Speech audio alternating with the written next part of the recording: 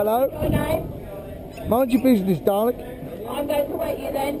I'll get you down there between your legs. you look like you've wet yourself.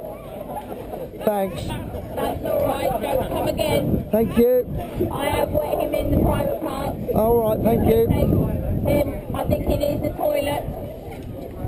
Uh, do you know what that is? Do you know what I've spoken you with? Better be water. No. I'm emptying my urine bottle.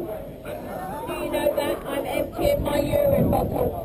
He might need to go to the toilet. Thank you. That's all right.